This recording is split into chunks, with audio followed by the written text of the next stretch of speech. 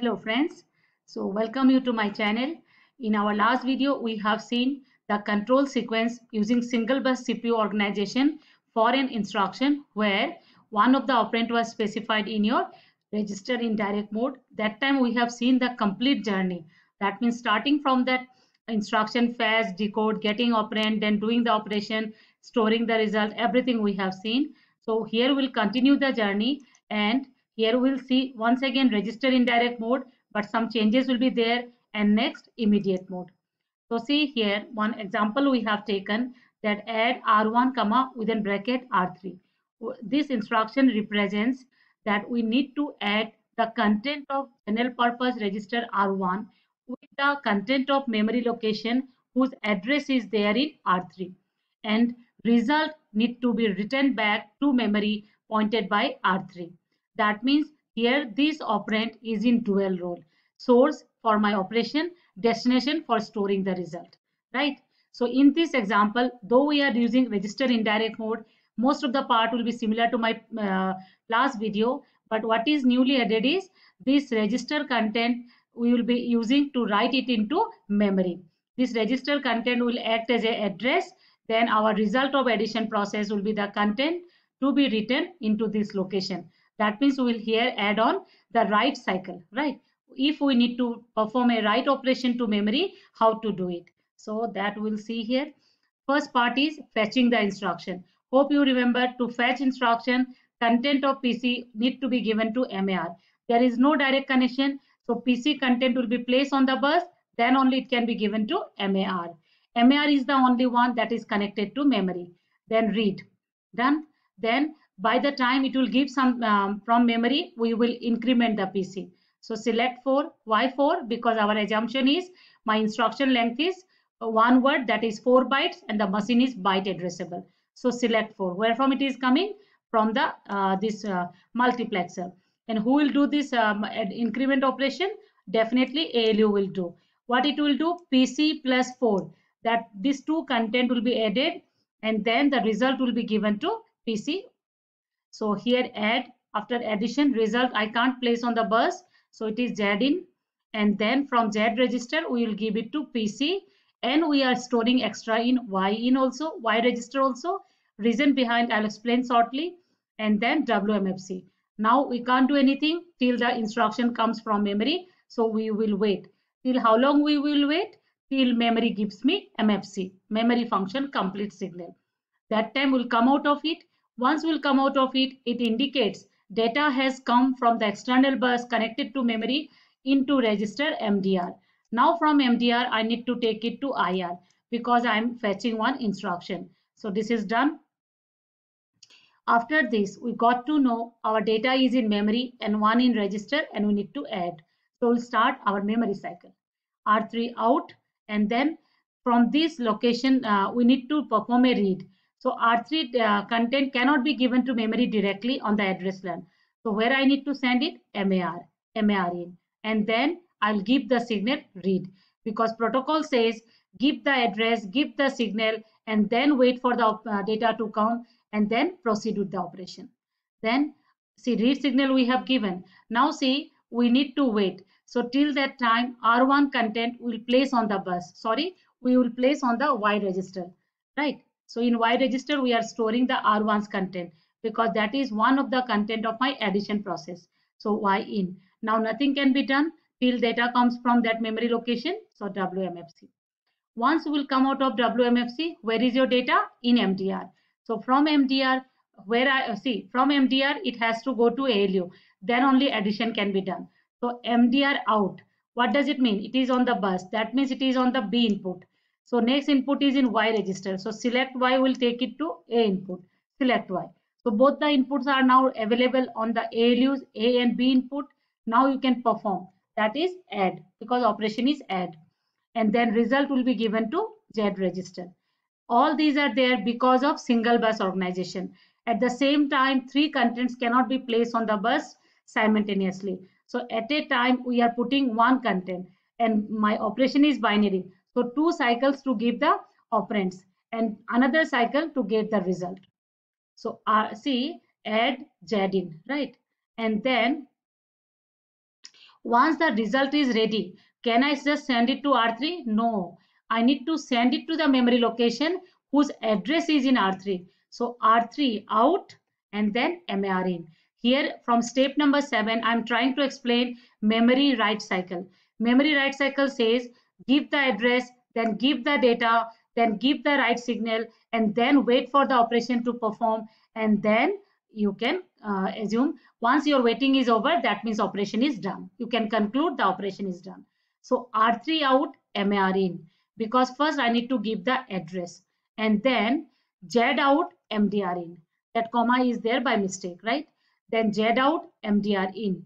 Because address has to be given in mar and data need to be given in mdr it will be in because some data we are giving to mdr so now see eh, on the bus eh, this side your memory is there. So address is there data is there. Now we will give the write signal right? Write signal is given. So once everything is set now memory will take some time to write the data into the given location specified in mar right so then we need to give wmfc once i come out of wmfc it indicates in the given location uh, that data is written so we can complete the instruction that is end. Please understand these three lines. See, to write something into memory, give the address, then give the data, and then write signal. And then only in the next clock cycle, you can give the WMFC. And please understand here what you need to write is the result of ALU. Where is that? In Z register. So from there, it is transferred to what? Transferred to MDR. So this is about registered indirect mode though we have seen it in last video but here it is in the dual role so that also we need to understand so because of that this explanation was there then in the next um, this one and next i am going to explain immediate mode hope you remember immediate mode immediate mode says data itself is part of the instruction data is part of the instruction and here another assumption i'm taking my instruction length is one word that means inside that one word, everything will come. Opcode, addressing mode, data, everything is there, right? So once I do one memory operation in the first cycle, my data is also with me.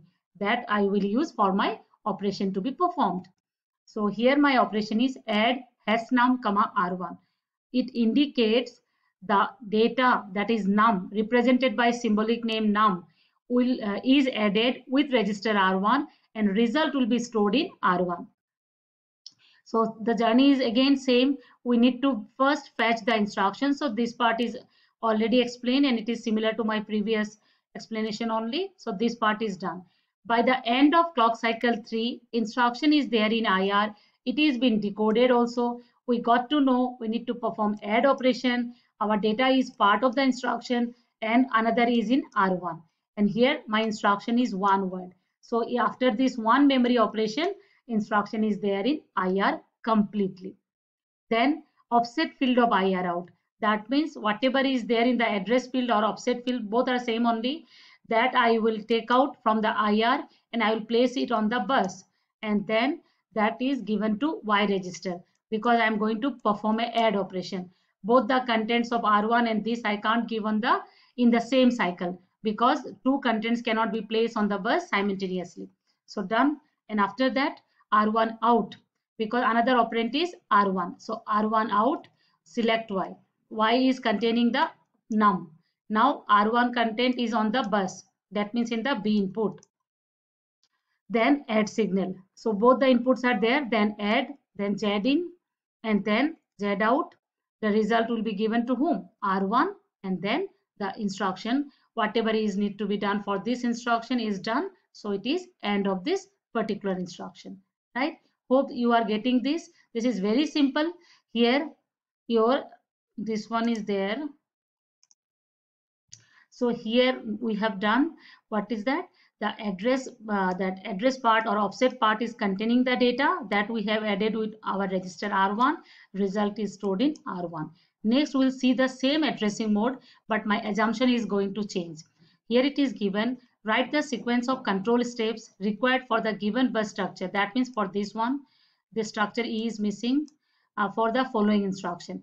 Add the immediate number num to register R1. Same example only, but see one more uh, assumption is given. Assume that each instruction consists of two words right? The first word specifies the operation code addressing mode and all and the second word contains the number num. So this num is there as part in the second word of your instruction. So first word will contain the uh, operation code and all and second part will contain the num. So to get this num that my immediate data i need to perform one more memory operation that is as part of instruction fetch and decode only. After that only we'll proceed with the execution part. So see here how it will be done. First see add hasnum comma r1 syntax is same only but my length of instruction is two word. It says that see it is similar to this. My instruction is at address 1000 opcode part. 1004 will hold this num and then at 1008 your next instruction is there. Next instruction is there right so so to go to the next instruction plus 4 will not help us. I need to increment it twice. Why twice? Because in this structure only by 4 i can add the content of pc and there is no other way to increment the pc other than via ALU. so due to that i need to do it twice. Then it will be uh, becoming pc plus 8 that will be the address of the next instruction. Pc plus 4 will give me the address of num right so it is not as their part of your ir only it is there in the next word where my opcode and all are stored in the memory so pc out mar in read select for add z in this part is similar to my previous explanation so again i'm not repeating so here what i have got i have got the opcode then the addressing mode and everything then I got to know that address part is there in the next word. So I need to get it. Where is the address? In PC as well as in Y register also. But there is no way of giving the content of Y register on the bus. So what I will do? PC out. Then MAR in because I need to get the num from memory. So MAR in. Then I will give the read signal.